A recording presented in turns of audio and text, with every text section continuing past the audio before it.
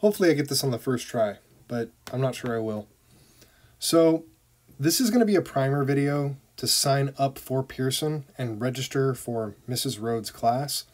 So um, here's the deal.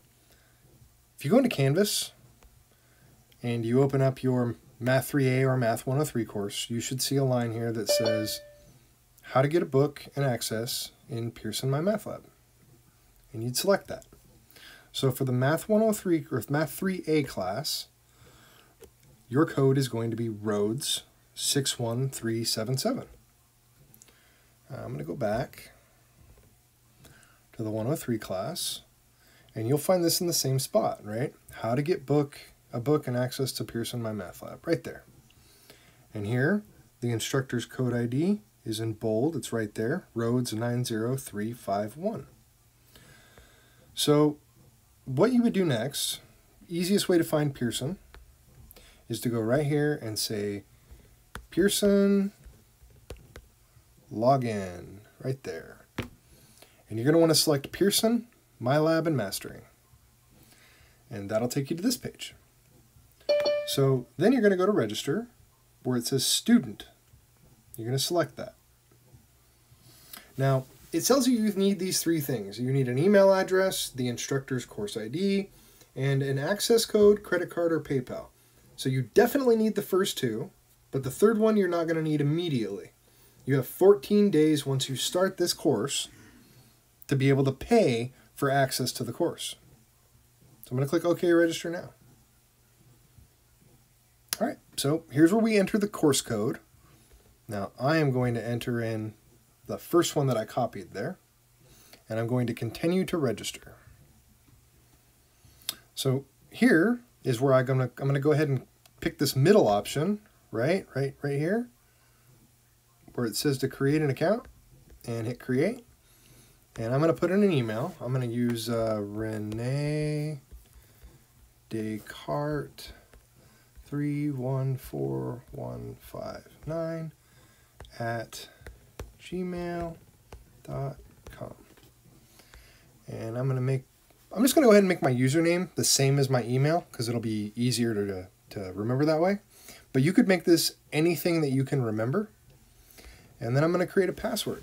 And I'm not going to tell you what that is, but...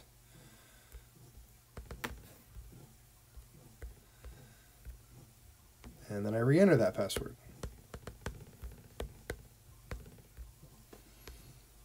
First name is Renee. My last name is Descartes.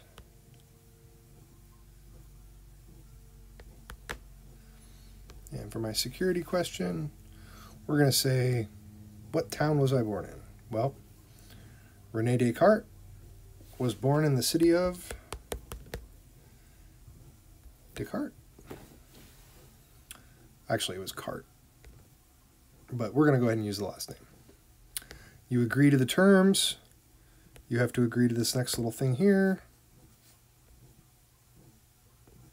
And you go ahead and click Create Account. Now you're going to get this page. All right. Register, use a credit card, use an access code, all these different things.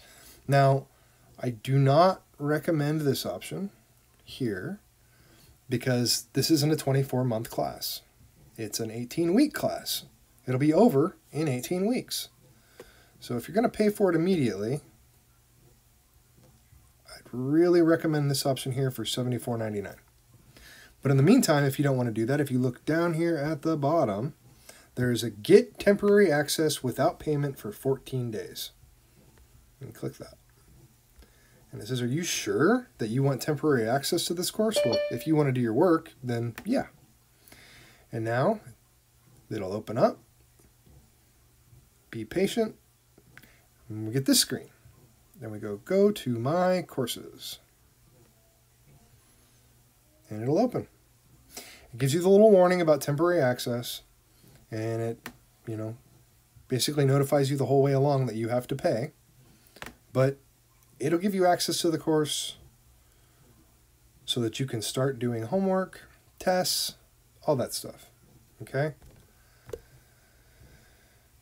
So that's my little video on how to get started, and I hope it helps you. So have a great day. Thanks for watching.